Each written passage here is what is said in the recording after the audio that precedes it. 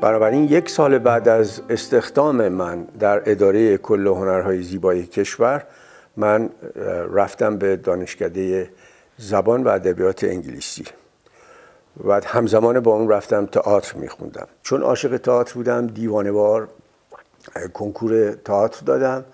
رفتم و شدم شاگرد دکتر مهدی فروغ. یک همکلاسی داشتم به اسم ایرج پاد که نویسنده توانایی بود و بعدم با من هم اتاق شد. به من گفت بچه جون تئاتر که اصلا توش نون آب نیست که. بیا برو سینما بخون. گفتم که سینما هم توش نون آب نیست. گفت نه بیشتر هست. کنکور سینما دادم رفتم. همش تون تون قبول می شدم می‌رفتم این کارا رو می‌کردم. الان این مسیرهایی که رفتم همش به دانشکده هنرهای دراماتیک بود که سر چهارراه آب سردار بود. اول دانشکده نبود. بعد یک سال شد دانشکده. همون جایی بود که عزت انتظامی بودن و محمد علی کشاورز بود و خود علی نصیریان و جمشید مشایخی بودن. ابراهیم مکی بود اونجا. یه سال از ما همه اینا بالاتر بودن. بعدها همزمان با همه اینا من سینما میخوندم. تعجب می‌کنید که من قوانینی رو عوض کردم توی زندگی خودم و اطرافیان که ثابت می‌کنه با یک دست میشه سه تا هندونه بلند کرد. و این کار کردم. برای اینکه قدر عمر خودم رو خیلی خیلی زیاد می‌دونم.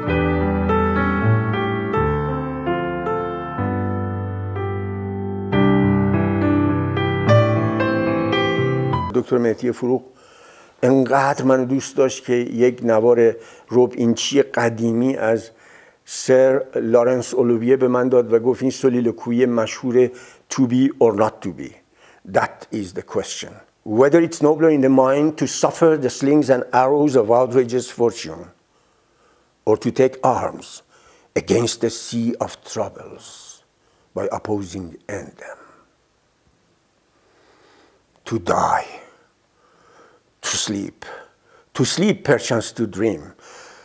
Oh, there is the rob. For in that sleep of death اینا بلند بلند داشته این فکر میکرده که عموی خودش با ملکه یعنی مادرش با هم توطئه قتل پدر رو که پادشاه بوده چیدن پدر رو می‌کشن برای اینکه بتونن به هدف کثیف خودشون برسن. و soliloquy فقط مال شکسپیره. اینا رو کی بهم یاد داد؟ خود یک آدمی به اسم دکتر مهدی فروغ به ما یاد داد. بقیه هم میشنیدن. ولی بعضی ها یه گوششون در بود یه گوش دیگهشون دروازه. وقتی من اینو اجرا کردم برای دکتر مهدی فروغ منو بوسید. منو بوسید واقعا. تمامش رو اجرا کردم. برای اینکه آدم باید خیلی ابله باشه که از توت از توتی پرنده ای که می‌تونه صدای شما رو و صدای منو تقلید کنه. حالا ضبط صوت رو بذاریم. ببینین روزگار چجوری میچرخه. روزگار چرخید و چرخید و چرخید. من شدم استاد زبان انگلیسی در دکترای هنر. به شاگردای خودم گفتم ما باید خیلی ابله باشیم خیلی احمق باشیم که این سیدی ها هست. گوینده مال تلویزیون پاریسه. این گوینده مال تلویزیون امریکا یا تلویزیون لندنه. این برای ما حرف می‌زنه و ما می‌تونیم توی دستگاه کامپیوتر خودمون هی ببریم عقب هی بیاریم جلو ببریم عقب بیاریم جلو ببریم عقب بیاریم جلو تا مثل خود اون آدم. اینو تقلید کنیم چطور توتی میتونه این کار بکنه و تو نمیتونی باید این کار بکنی Revitalization Up to the time of the year 1996 The people of Asaluye and Nakhletari, the two coastal villages in the north of Persian Gulf, didn't know in the near future the face of the region will be changed as an important point of energy provider for the gas and petrochemical.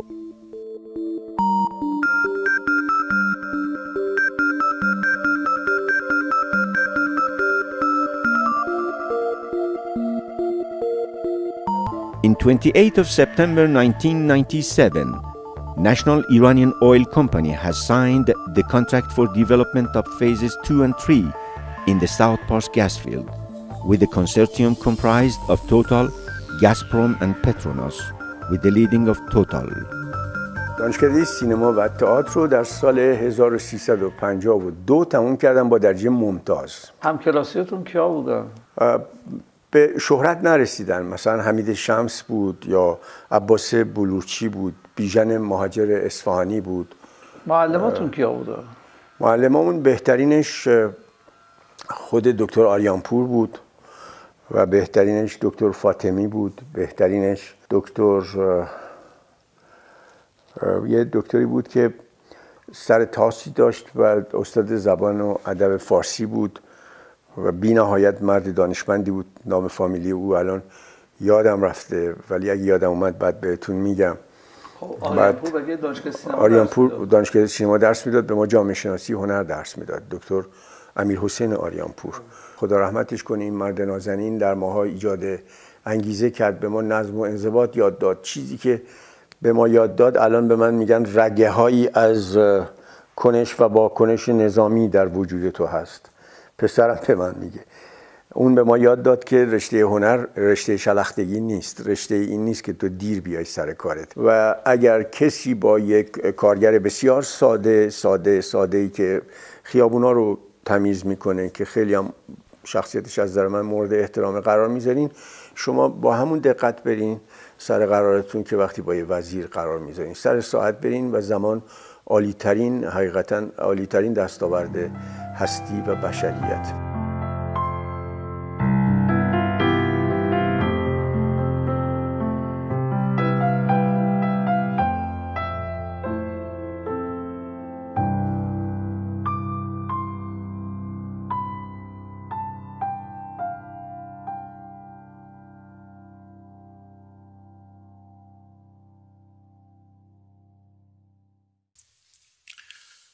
اکبر عالمی استاد و پژوهشگر سینما و تلویزیون مستندساز و برنامه‌ساز تلویزیونی که در حال تهیه مستندی درباره کرونا بود بر اثر ابتلا به همین بیماری درگذشت. اکبر عالمی در سال 1324 در اهواز متولد شد سینما خواند و در لابراتوارهای استودیوهای سینمایی کار کرد و بعد برای ادامه تحصیل به اینجا در بریتانیا آمد. بعد از بازگشت به ایران اول در وزارت فرهنگ و هنر و بعد تلویزیون مشغول به کار شد. بعد از انقلاب سرپرست لابراتوار تلویزیون شد و همزمان شروع به مستندسازی هم کرد. هنر هفتم نخستین برنامه نقد و تحلیل سینمایی تلویزیون در دوران جمهوری اسلامی بود که او در دهه هفتاد تهیه و اجراش می‌کرد. ضمن تشکر از شما به خاطر توجه به این برنامه تا برنامه دیگه از شما بینندگان عزیز خداحافظی می‌کنم. شب به شما خوش. عالمی در بیش از چهار دهه گذشته به تدریس سینما در دانشگاه مختلف ایران پرداخت و علاوه بر چندین پژوهش و نوشتن و ترجمه چند کتاب سینمایی عضو فرهنگستان هنر و فرهنگستان زبان و ادبیات فارسی هم بود. از شخصیت ها رو داریم که اصلا غیر قابل تکراره اگه بهزاد در غیر حیاتی بهش یک می‌دادی غیر قابل تکراره منو معمول کنیم به عنوان پیر 75 ساله زانو بزنم و بگم اینو اومدن تقدیم کنن. نه اینکه اون بیاد تقاضا بده. اکبر عالمی دیشب درگذشت. امید حبیبینی همکارم اینجا در استودیو با ماست. امید یکم بیشتر در مورد کارنامه او بهمون بگو. یکی از خوشبختی های من اینه که اکبر عالمی استاد ما بود البته برای یک مدت کوتاهی به دلیل اینکه جابجایی هایی شده بود در استادان. ولی خب چند نسل از دانشجویان سینما عکاسی و هنر در واقع بهره بردن از دانش آقای عالمی. آقای عالمی در واقع خود ساخته بود. همونجور که خودش میگه از کارگر روزمز در وزارت فرهنگ و هنر کار کرد شروع به کار کرد و با روزی دوازده تا تک تومانی در واقع حقوقش بود که خودش میگفتش که وقتی اولین حقوقمو گرفتم چون موز نخورده بودم رفتم موز خوردم.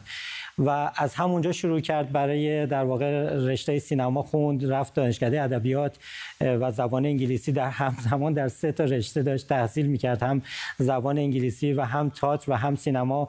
و بعد از اون به مدرسه فیلم لندن اومد در همینجا و فوق لیسانسش رو گرفت و بعد برگشت ایران شروع کرد به کار در لابراتوار وزارت فرهنگ و هنر و بعد تلویزیون که بعد از در واقع انقلاب در صدا و سیما شد. مسئول لابراتورهای صدا سیما.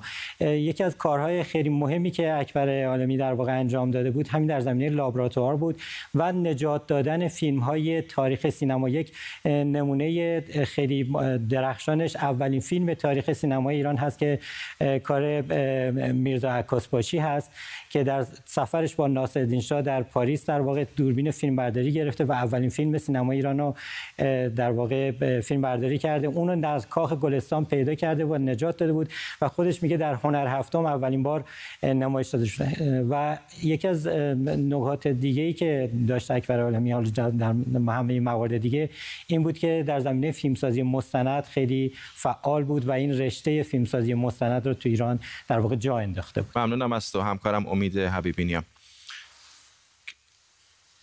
پشت در اتاق یه آدمی من رفتم نوشتم آرزوی دیدارتان را دارم.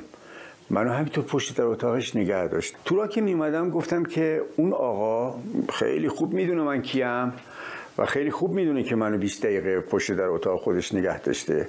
من دیدم قدر من تو جایی که خانه واقعی من هست نمی‌دونن این ارزشو. دلم شکست.